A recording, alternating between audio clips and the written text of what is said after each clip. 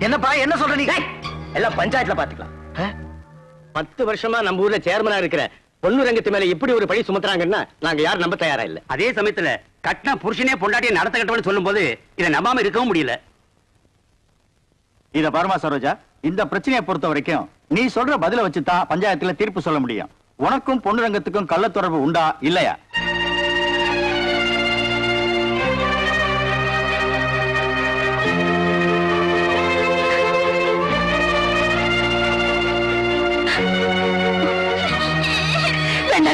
குழந்தைகளை ஒண்ணும் பண்ணிடாதீங்க. டேய், உனக்கும் பொண்ணு ரங்கத்துக்கு கள்ள தொடர்பு இருக்கான்னு பஞ்சாயத்துல கேட்டா ஆமான்னு சொல்லணும். இல்ல பெத்த குழந்தைன்னு கூட பார்க்காம கழுத்தறுத்து கொன்றுவேன். என்னை பத்தி உனக்கு நல்லா தெரியும்.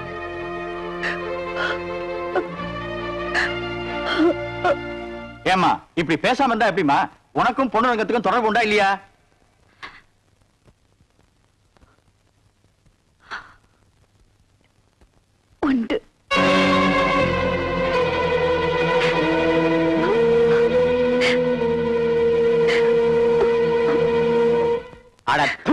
நீ எல்லாம் ஒரு மனுஷன். நீ கெட்ட கேட்டுக்கு உனக்கு சேர்மன் பதவி வேணுமா?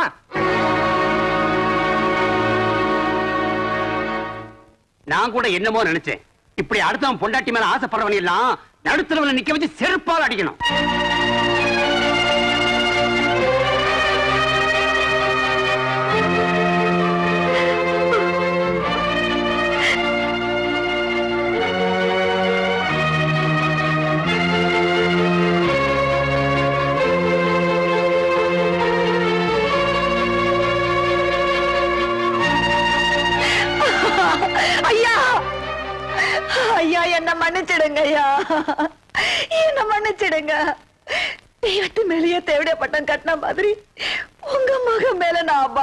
பழிய சுமத்துட்டேன் ஐயா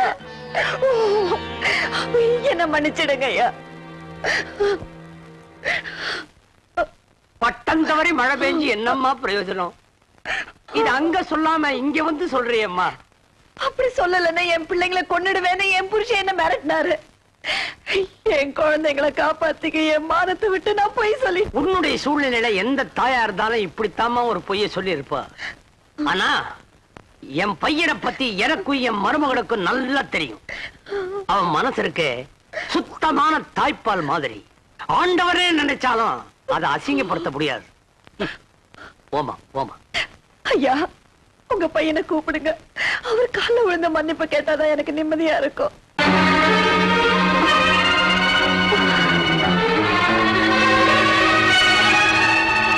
பாவி இடுப்புல கட்டுற வேட்டி மானத்துக்கோ தோல்ல போடுற துண்டு மரியாதைக்கும்னு வாழ்ந்தவர் பொண்ணு ரங்கம்.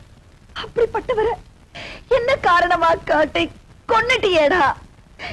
இனிமே நான் சும்மா இருக்க போறதில்ல. இப்பவே போய் ஊரை கூட்டி நடந்த உண்மை சொல்ல போறேன். எங்கடி போற? நான் சேர்மன் ஆகிறது உனக்கு பிடிக்கலையா? பிடிக்கல.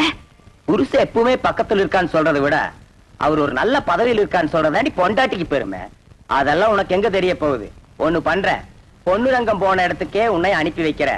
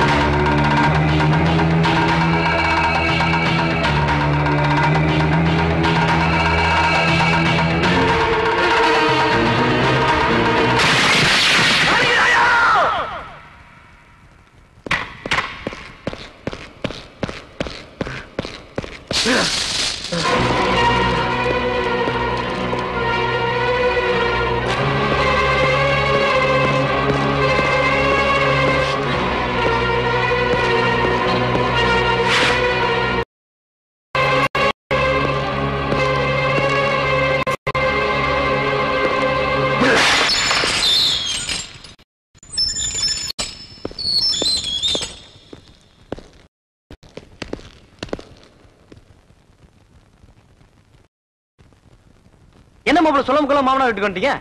ஏதாவது சீர்வரிசை வேணுமா? அப்பா வேற ஊர்ல இல்ல. உனக்கு வேண்டிய சீர்வரிசை நானே தரேன். எனக்கு வேண்டிய சீதனமே உன் அப்பனோட உயிர் தாண்டா. என்ன மாப்பிள்ள விளையாடுறீங்க?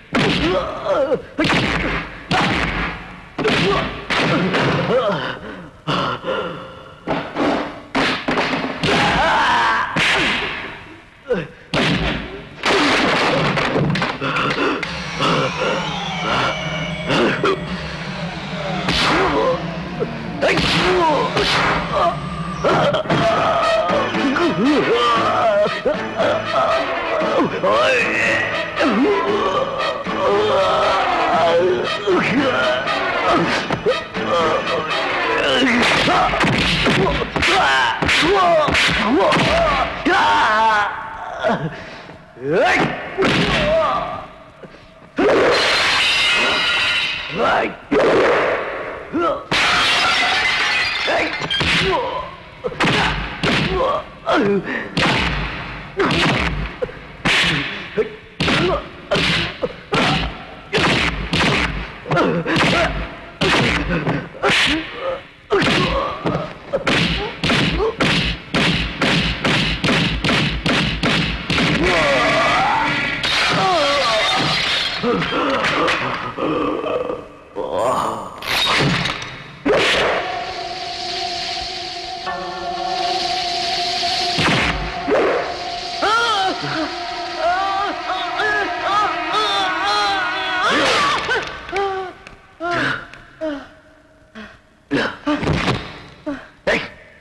என்னைக்குதான் உங்க அப்பனோட சாவு?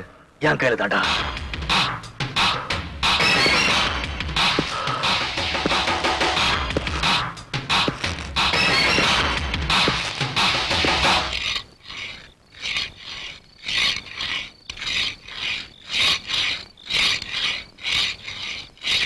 ஆத்திரம் அடங்கலையா?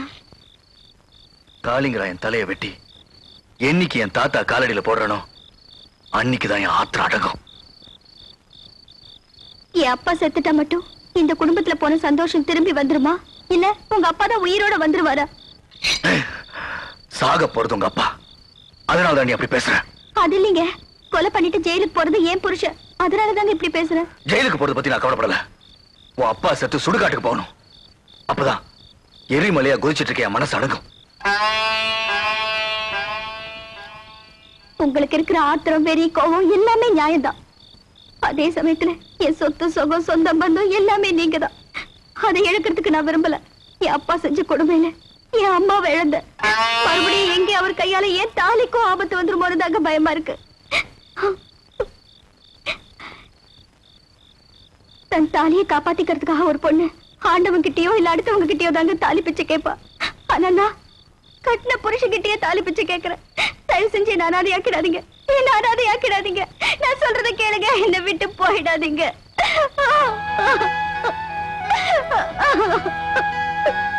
டேய்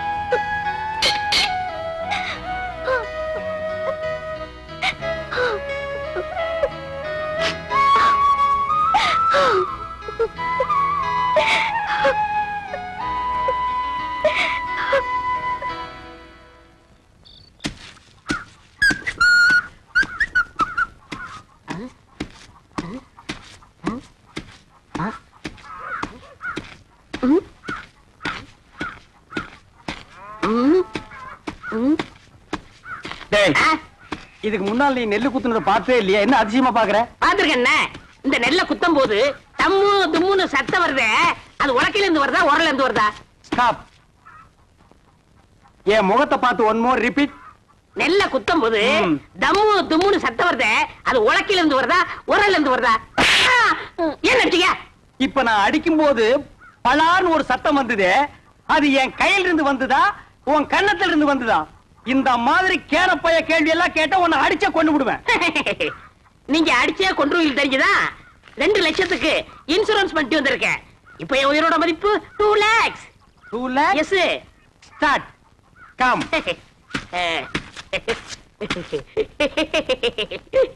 டேய் ராசா இப்ப நீ சொன்னையே டூ லேக்ஸ் அத நீ செத்ததுக்கு அப்புறம் தான் இன்சூரன்ஸ் இருந்து கொடுப்பாங்க. அத நீ அனுபவிக்க முடியாது. என்னன்னு நீங்க? என் பொண்டாட்டி யார் அந்த படாங்கு சிரிக்கியா? பொம்பளையா அவ. அவ காலை தூக்கி போட்டாலே நீ தாங்க மாட்ட. உயிரோடு இருக்கும் போதே உன்னை மதிக்க மாட்டேங்கிறா. நாய்க்கு சோறு வைக்கிற மாதிரி வைக்கிறா. நீ செத்து அந்த ரெண்டு லட்சத்தை அவ அனுபவிக்கணுமா?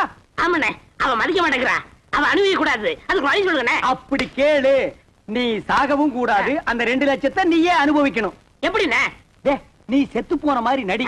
ஊர் ஜனங்களையும் இன்சூரன்ஸ் ஆபீசர்களையும். உல்டா பண்ணி நான் கைக்குள்ள போட்டு அமைக்கிறேன் நீங்க அமைக்கிருவீங்க. ஆனா என்ன பவிச்சிருவாங்கல்ல புதைக்கிட்டும். எனக்கு என்ன? என்னது? பத்து நிமிஷம் தம் கட்டி உள்ள படுத்துக்கடா. நான் அவங்களை எல்லாம் வெளியே துரத்திட்டு. உன்னை நான் தோண்டி எடுத்துக்கிறேன். நல்ல ஐடியா. கை விடுங்கண்ணே அண்ணே? இது என் உயிர் பிரச்சனை. பத்து நிமிஷத்துல தோண்டி எடுத்துருவீங்கல்ல? பத்து நிமிஷம் ஆகலாம் இருபது நிமிஷம் ஆகலாம். ஆ, என்னண்ணே நீங்க? என்ன நொண்ணு நீ ஆபீஸ் எல்லாம் குழி சுத்தி நிப்பா. அந்த நேரத்துல குழிக்குள்ள மம்படி போட முடியுமா?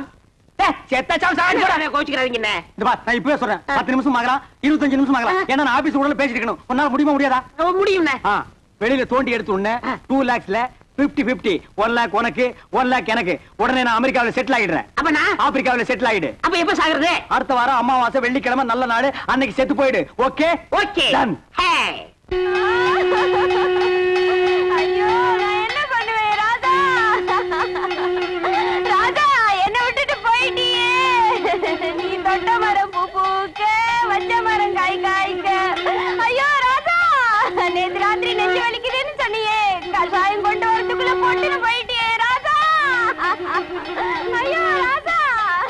டேய் பழனி சும்மா சொல்லக்கூடாது. உன் சம்சாரம் நல்லாவே ஒப்பாரி வைக்கிறா. என்ன? என் மேல அவ்வளவு பாசம்னு? அண்ணா சுப்பிரமணிய அண்ணா. தங்கச்சி சொல்லு தங்கச்சி. என் புருஷன் நெஞ்சு வலியால செத்துட்டாரு. அவர் செஞ்ச இன்சூரன்ஸ் பண்ண ரெண்டு லட்சம் எப்பன்னா என் கைக்கு வரும். அப்படி கேளு. இவனை மண்ணுக்குள்ள எப்ப புதைக்கிறோமோ அப்பவே அந்த ரெண்டு லட்சம் உன் கைக்கு வந்துரும். ஆமா தங்கச்சி? அந்த ரெண்டு லட்சம் பணத்தை வாங்கி என்னம்மா பண்ண போற? என் புருஷன் அடிக்கடி சொல்லுவாரு நான் செத்ததுக்கு அப்புறம் நீ ஒரு சொட்டு கண்ணீர் கூட விடக்கூடாதுன்னு. அவர் ஆத்மா சாந்தி அடையணும்னா நான் இன்னொரு கல்யாணம் பண்ணிட்டு சந்தோஷமா இருக்க ஐயோ ராஜா நீ கேட்டியாடா? இவதாண்டா தமிழ் பொண்ணு. ஏய் பழனி பாத்தியா இன்னொரு புருஷனை கட்டிட்டு வாழ்க்கை நடத்த போறாளாம் இதுவா பாசம். இவளுக்கா அந்த ரெண்டு லட்சத்தை வாங்கி தர போறேன்? ஒரு சல்லி பைசா கூட கொடுக்க கூடாது எனக்கு வர கோவத்துக்கு அரவல் எடுத்து வெட்டி முடி போனமுங்கிறத மறந்துட்டே பேசுறேன். சரி.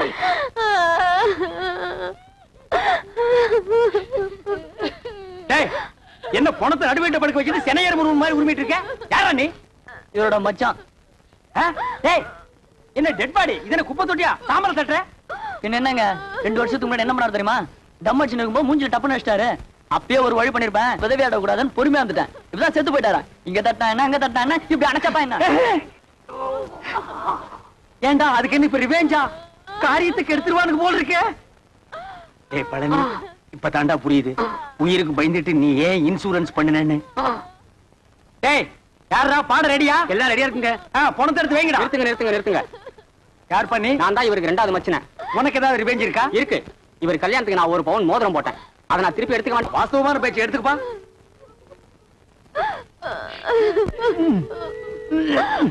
என்ன? வரமாட்டேங்குதுங்க. அட விரல வெட்டி எடுத்துட்டு போங்கடா. அதான் கரெக்ட் என்ன? நீங்க கூட இருந்தே குளிப்பறிக்கிறீங்களே டேய், விரல் போன மசரே போச்சு. ரெண்டு லட்சம் வருது இல்ல பிளாஸ்டிக் சர்ஜரி பண்ணிக்கலாம். வேண்டாம் வேண்டாம் வலிக்கு. நீங்களே அந்த கம்லாட்டி கொடுத்துருங்க. அந்த நாய் என்ன ஞாபகம் இந்த மோதிரத்தை கவ வந்திருக்கு பாத்தியா. டேய் வெட்டிக்கிட்டு போனவன் எந்த மோதிரம்? எப்படிங்க வந்துச்சு? அவனே கழட்டி கொடுத்தான்டா. நான் கழட்டி கொடுத்ததா? டேய் உனக்கு தேவை மோதிரம் தானே? வந்துச்சுல மூடிட்டு போடா. போடா டேய் டேய் பணத்துக்கு பாடல வைங்கடா. ராதா தூக்கு தூக்குடா. அண்ணா பார்த்து அடக்கம் பண்ணிட்டு வாங்கண்ணா. அம்மா நாங்க நல்லபடியா அடக்கம் பண்றோம். நீ ரெண்டாவது புருஷனுக்கு ஏற்பாடு பண்ணிக்குமா? சரிங்கண்ணா. வாங்கடா. அஹ். ஆ. ஆ. டைம் ஆச்சு பணம் தூக்கி குழிக்குள்ள வைங்க எடுத்துங்க. யாரா கரையாந்தலை நீ செத்து போன பழனிக்கு நான் பங்காளி. இப்ப அதுக்கு என்ன பண்ணுங்கிற? எங்க குறை வழக்கப்படி பெட்ரோல் ஊத்தி எரிக்கிறதா வழக்கம். சரி எரிச்சு தொலைங்கடா. நிறுத்துடா. எங்க இந்த துண்டு பீடி? டேய் பாருங்க. உங்க ஜாதி வழக்கப்படி புதைக்கிறதா எரிக்கிறதாடா? உதைக்கணுங்க எரிக்கணுங்க. உதைக்கணுங்க எரிக்கணுங்க. உதைக்கணுங்க எரிக்கணுங்க. உதைக்கணுங்க எரிக்கணுங்க. நிறுத்துக்கடா எங்க? புதைக்கிறவங்க ஒரு தடவை கையை தூக்குங்க. கீழே போடுங்க. எரிக்கிறவங்க எல்லாம் கையை தூக்குங்க. டேய் மெஜாரிட்டி கம்மி நீ ஒருத்தன் தான். உதவாங்கக்குள்ள ஓடி போயிரு. போடா. தூக்கி குழிகளை வைக்கடா. நிறுத்துங்க நிறுத்துங்க. யாரப்பா ஒண்ணு புதைக்க விடுங்க இல்லன்னா எரிக்க விடுங்கடா? டேய் இன்சூரன்ஸ் வந்துருச்சுடா ரெண்டு லட்சம். பணம் வந்துருச்சுடா. வாங்க வாங்க வாங்க. நான் உங்களை தான் எதிர்பார்த்துட்டு இருந்தேன். நீங்க எல்ஐசில இருந்து ஆமாங்க. அந்த ரெண்டு லட்சம் பணம் கொண்டு வந்திருக்கீங்களா? வந்திருக்கேன். சார் செத்து போன பழனிக்கு நான் தான் சார் கார்டின் அந்த ரெண்டு லட்சத்தை என் கையிலேயே கொடுத்துருங்க சார். பழனி சாவல எங்களுக்கு சந்தேகம் இருக்குங்க. சந்தேகம் இருந்தா செத்து போன பழனிவே எழுப்பி கேளுங்க. என்னது? இது போஸ்ட் மாடம்னா இதால ரெண்டா மூணா அறுப்பான். அப்படி அறுத்த உடனே பணத்தை கொடுத்துருவீங்கல்ல? குடுத்துருவாங்க. நீங்க அறுக்க ஆரம்பிங்க. நான் ஒண்ணு கூட்டு வந்துடுறேன் ஐயா ஏய், ஐயா, தள்ளுங்க.